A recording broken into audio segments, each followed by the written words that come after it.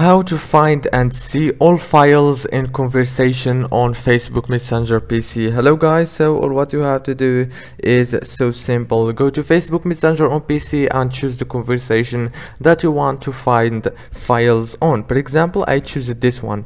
Now all what you have to do is simple. Go here to the top corner click on those three dots. After you click on the three dots now all what you have to do is go down here and you will find this media and files. Click on it and then you will find files. Click on files and here you go. Here you will find all the files that you sent or you got from this conversation.